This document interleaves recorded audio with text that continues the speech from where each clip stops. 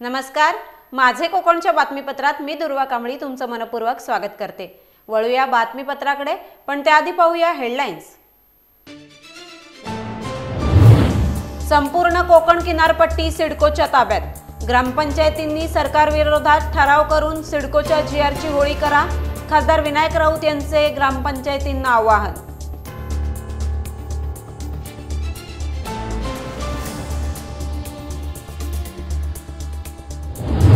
Coastal रोडची निर्मिती Uddhav ठाकरेंमुळेच. Coastal रोडचे श्रेय फडणवीसांना घेता येणार नाही.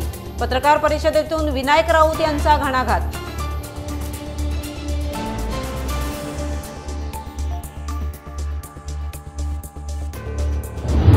विविध मागण्यांसाठी नवी मुंबईतील तुर्भे वॉर्ड ऑफिसवर काढण्यात आला आरपीआयचा थाळीनाथ धडक मोर्चा.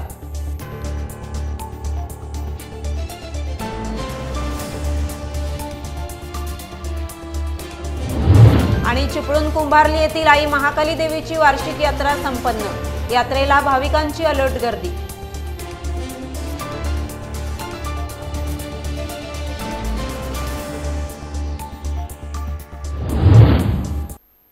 आता पाहूया सविस्तर वृत्त.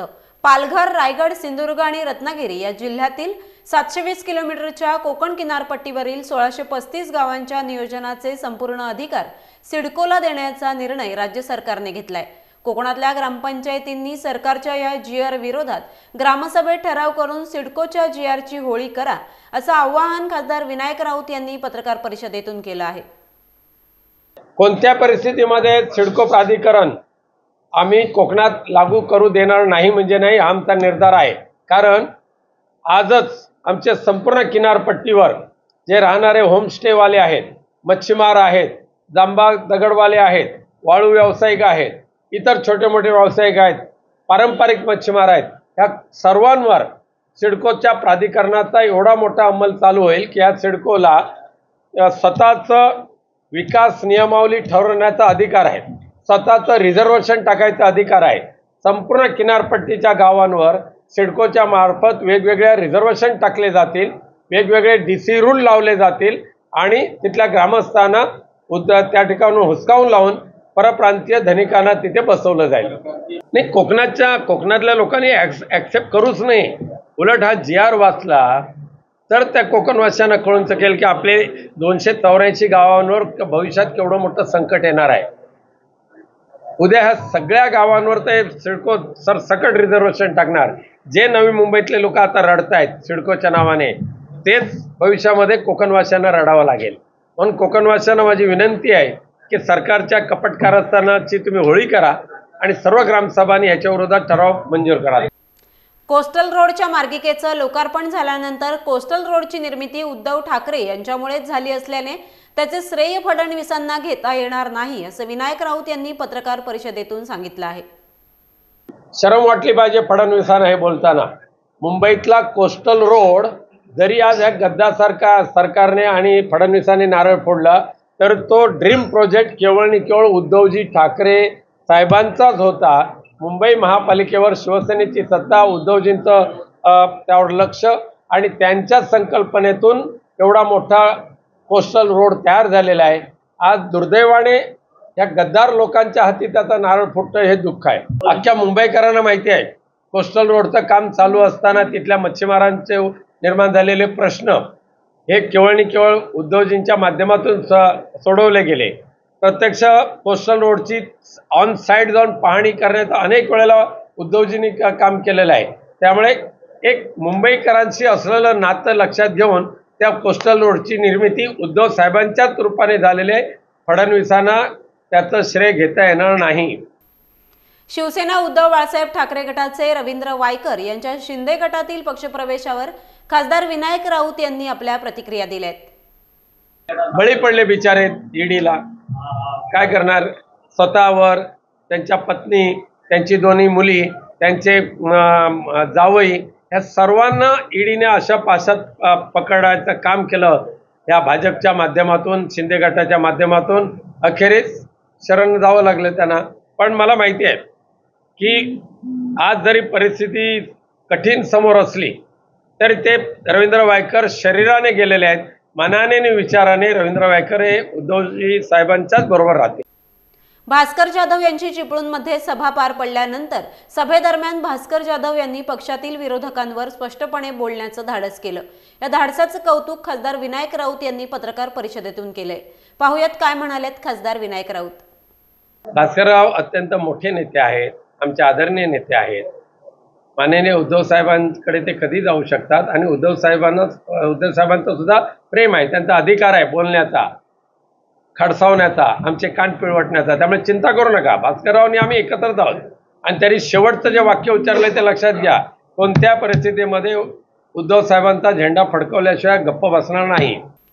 Republican party of India Athawale गटाच्या वतीने नवी मुंबईतील तुर्भे विभागातील विविध मागण्यांसाठी तुर्भे डिवॉर्ड कार्यालयावर थाळीनाथ धडक मोर्चा काढण्यात आला. मोर्चाचं नेतृत्व Republican party of India Navi Mumbai युवक अध्यक्ष ॲडव्होकेट यशपाल ओहळ यांनी पक्षाचे जिल्हा निरीक्षक तथा प्रदेश उपाध्यक्ष सिंदराम ओहळ यांच्या मार्गदर्शनाखाली केले होते. मोर्चातील शिष्टमंडळाबरोबर पालिका सहआयुक्त भारत दांडे पालिका झोन टूचे उपायुक्त सोमनाथ पोटरे समाज विकासचे अधिकारी मळेकर आणि ठाणे बेलापूरचे उपअभियंता चौडे यांच्याबरोबर झालेली चर्चा ही सकारात्मक झाली. मोर्चा अंती काही आश्वासने देखील देण्यात आली. मात्र या मोर्चेकरांच्या थाळीनाथ मोर्चामुळे संपूर्ण परिसर दणाणून गेला होता. शेकडो लोकांचा या मोर्चामध्ये सहभाग होता.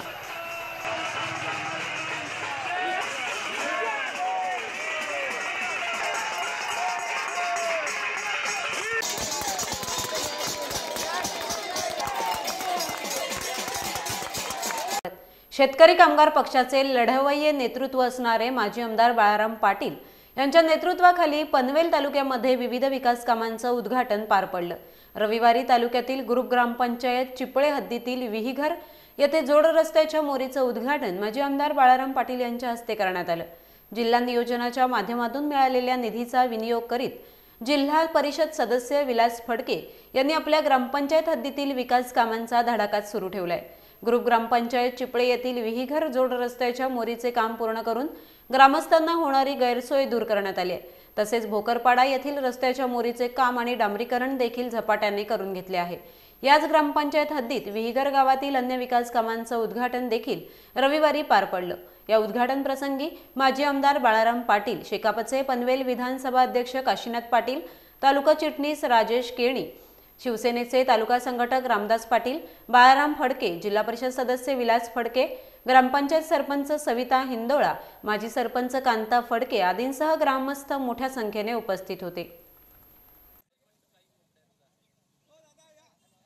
जिल्हा नियोजनच्या विकास आराखड्यामध्ये गेल्या वर्षी दोन कोटी रुपयाचा निधी आपण तालुक्यामध्ये वर्गीकरण केलं होतं. त्यामध्ये विगर ग्रामपंचायतीमध्ये विगर जोड रस्त्याला मोरीचं काम आपण घेतलं होतं. आणि त्याचा हा उद्घाटन सोहळा नुकताच या ठिकाणी पार पडला. आमदार बालाराम पाटील साहेब यांच्या नेतृत्वाखाली तालुक्यामध्ये काम करत असताना ज्या भौतिक गरजा आहेत मग त्या रस्त्यांच्या असतील क्रीडांगणाच्या असतील शाळेच्या असतील अंगणवाडीच्या असतील किंवा बचत गटाच्या माध्यमातून सभागृहाच्या असतील यांना प्राधान्यक्रम दिला जातो. आणि या प्राधान्यानं आज तालुक्यामध्ये आता आचारसंहिता असल्या कारणानं आपण या दोन दिवसात सर्व उद्घाटन आणि भूमिपूजन सोहळे संपन्न करत आहोत. त्याचाच भाग म्हणून आज हा आपण कार्यक्रम या ठिकाणी घेतलेला आहे. पुढल्या आराखड्यात वि- विगर ग्रामपंचायतीमध्ये भोकरपाड्या रस्त्याला एक मोरीचं काम आपण घेतलेलं आहे आणि भोकरपाड्याच्या एका टप्प्याचं डांबरीकरणाचं काम आपण या ठिकाणी घेतलेलं आहे. या ग्रामपंचायतीच्या माध्यमातून सातत्याने विलास फडकेच्या माध्यमातून विविध विकासाची कामं ही केली जातात. आणि पनवेलच्या प्रवेशद्वाराजवळ झपाट्याने या शहराचा आणि गावाचा विकास होत असताना त्यांच्या ग्रामपंचायतीवर खूप ताण पडतो. म्हणून जिल्हा परिषद असेल पंचायत समिती असेल किंवा जिल्हा नियोजन असेल जास्तीचा भार आणि जास्तीचा निधी बिगर ग्रामपंचायतीला चिखले ग्रामपंचायतीला देण्याचा प्रयत्न आमदार बाळाराम पाटील साहेब यांच्या नेतृत्वाखाली आपण केलेला आहे. रत्नागिरी जिल्ह्याच्या चिपळूणमधील शिरगाव कुंभारली आणि पोफळी या तीन गावांचं देवस्थान असलेल्या सुकाई वरदायिनी महाकाली देवीची वार्षिक यात्रा सोमवारी अकरा मार्च रोजी मोठ्या उत्साहात संपन्न झाली. दरवर्षी महाकाली देवीची ही यात्रा कुंभारली येथे भरते. सह्याद्रीच्या कुशीत आणि निसर्गरमणीय परिसरात कौलारू मंदिरात श्री सुखाई वरदायिनी महाकाली देवी विराजमान झाल्या असून तिथे मंदिर दोन वास्तूत विभागले आहे. मुख्य वास्तूमध्ये सुखाई आणि वरदायिनी तसेच शेजारच्या वास्तूमध्ये श्री आई महाकाली विराजमान झाली आहे कुंभारली येथील या यात्रेत सर्व समाजातील प्रत्येक घटकांचा समावेश असतो. त्यामुळे प्रत्येकावर जबाबदारी असते त्यामुळे स्वाभाविकच एकोपा असतो. शिरगावमधील मोठा भाऊ म्हणजे शिंदे त्यानंतर कुंभारलीचे कोलगे पोफळीचे सय्यद व पवार मानकरी आहेत. या तीन गावचे देवस्थान महाकाली येथील लोकव्यवहार आणि संस्कृती हिंदू मुस्लिम धर्मियांना एकत्र बांधणारी आहे. आणि नवल वाटावी अशी गोष्ट म्हणजे गावच्या लोकर रहिवाटीत हिंदू सोबत सय्यद बांधव यांना सुद्धा सारखं स्थान आहे. या ठिकाणी अठरा कुंभाचे मानकरी आहेत आणि त्या प्रत्येक जातीला मान आणि स्थान आहे. हे शके बाराशे नऊ सालापासून सुरू आहे. यात्रेला सुरुवात महाशिवरात्रीला लाट तोडून होते आणि तेथूनच शिमग्याला सुरुवात होते.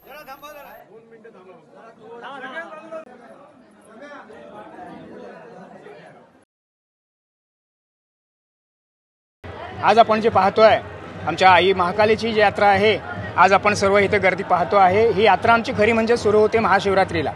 महाशिवरात्रीला आमच्या इथे लाट तोडली जाते. आता तीनगाव शिरगाव कुंभारली पोफळी या रोटेशनप्रमाणे यावर्षी कुंभारलीचा मान असल्यामुळे पूर्ण कुंभारलीमध्ये आपण ती लाट तोडली गेली. पुढच्या वर्षी पोफळी त्यानंतर शिरगाव असं ते रोटेशन चालू असतं. ती लाट तोडल्यानंतर आपण ती वाजत गाजत आणतो आणि खऱ्या अर्थानं शिमगा हा आमचा महाशिवरात्री दिवशी सुरू होतो. ढोल वाजायला लागतात. आणि खऱ्या अर्थाने शिमगा सुरू होतो. ही यात्रा ही शिमग्याची ही सुरुवात आहे. आणि त्यामुळे ही जी आपण हा जो शिमगा म्हणतो हा फाल्गुन शुद्ध प्रतिपदा ह्या दिवसापासून शिमगा सुरू होतो. मला सांगायचं एवढंच आहे की हा तिनगाव अजून आम्ही टिकून ठेवला आहे तो महाकालीच्या श्रद्धेमुळे. महाकालीने आम्हाला एकत्र बांधून ठेवलेलं आहे. आमचे शिरगाव कुंभारली आणि पोफळी हे तीन गावचं देवस्थान ह्या महाकालीने आम्हाला एवढं एकत्र बांधलेलं आहे. तीन गावचे मान पान आणि तीन गावचे सगळे अठरा कुंभाचे मान हे अबाधित जसं अलिखित आहे ते आणि पूर्वीपासून जे चालत आलेले आहे तेच इथे आपण त्याचा कुठेही एकमेकाच्या एकमेकाच्या खांबाला सुद्धा जाऊन कोण बसणार नाही. इथं तिचं दहशत आहे. प्रत्येकजण आपापल्या खांबाला जाऊन बसेल. उशिरा जरी आला तर खांबाला दुसरा कोण बसणार नाही. प्रत्येकाचा मान प्रत्येकाला असतो. अशी ही आपली यात्रा खूप ह्या वर्षी सुद्धा भरपूर अगदी भयंकर सकाळपासून गर्दी आहे. अगदी खालपर्यंत लाईन लागलेली आहे. दुसरी एक आनंदाची बातमी म्हणजे आजच आपल्याला ब दर्जा पर्यटनाचा मिळालेला आहे. आमच्या रूढी परंपरे परेप्रमाणे इथले सगळे जे काय मानपान आहेत ते दिले जातात. त्याचबरोबर इथे राष्ट्रीय एकात्मता जोपासली जाते. इथे आमचे मुस्लिम बंधूसुद्धा आमच्याबरोबर आमच्या इतके देवीचे मानकरी आहेत. आणि ते सुद्धा या देवीचे सर्व सण उत्सव शिमगा उत्सव असू दे यात्रा उत्सव असू दे सगळ्या देवीच्या ज्या बारा तिथीपोती होतात त्या बारा तिथीपोतींमध्ये ते सहभागी होत असतात. इथं सर्व धर्मियांसाठी हे मंदिर खुलं आहे. हे विशेष आहे. इथं राष्ट्रीय एकात्मता जोपासली जाते. आज रात्र सकाळपासून हा कार्यक्रम सुरू झालेला आहे. तो पहाटे अगदी पाच वाजेपर्यंत सुरू राहील. सगळे भाविक आनंदाने पश्चिम महाराष्ट्र असू दे पुऱ्या महाराष्ट्रातून इथे भाविक येतात आणि देवीचं दर्शन घेतात. ही नवसाला पावणारी देवी आहे. सगळ्या भाविकांना अतिशय ज्यावरती भयंकर श्रद्धा आहे आणि श्रद्धा असल्यामुळे जिथं सगळ्या सर्व धर्माचे लोक येतात. आणि ही यात्रा चांगल्या तऱ्हेने संपन्न होते. फाल्गुन शुद्ध आता पौर्णिमेच्या नंतर शिमगा उत्सव सुरू होईल. शिमगा उत्सवसुद्धा अशाच पद्धतीने गुणागोविंदाने साजरा केला जातो. आम एका एका गावामध्ये शिमगा उत्सव होत नाही पण आमचे तीन गाव आहेत. आम्ही शिरगावला शिंदे कुंभारलीला कोलगे कंपनी आहे. पोपळीमध्ये सय्यद पवार ही मंडळी असते. आणि कुठल्याही तऱ्हेची कटुता नसताना सुद्धा हे सगळे शिमगा उत्सव असू दे यात्रा उत्सव असू दे नवरात्र उत्सव असू दे या आनंदाने साजरे होतात. आज आमची सुकाई वरदाय महाकाई देवीची यात्रा उत्सव. यात आम्ही तीन गाव. सगळे आम्ही एकत्र येऊन या यात्रा उत्सवाला सहभागी होतो आणि जोमाने ही यात्रा उत्सव आम्ही साजरी करतो. तसेच या यात्रा उत्सवाबरोबर आम्ही सामाजिक उपक्रम इथे जसं की रक्तदान शिबिर त्यानंतर आई चेकअप कॅम्प असतात. वेगळेवेगळे टेस्ट प्लस या टाईम आम्ही कॅल्शियम जे इम्पॉर्टंट आहे बायकांच्या स्त्रियांमध्ये जो कॅल्शियम कमी असो त्याची टेस्ट आम्ही या टाईम नवीन आणली आहे. आणि हा एक उपक्रम केला आहे. तसेच आम्ही शैक्षणिक ज्यांना गरज असते ते आम्ही सगळं शैक्षणिक उपक्रम सुद्धा इकडे राबवतो. या बातमीसह वेळ झाली आहे. बातमीपत्रात इथेच थांबण्याची. भेटूया नवीन बातमीपत्रासह. तुम्ही पाहत रहा फक्त माझे कोकण.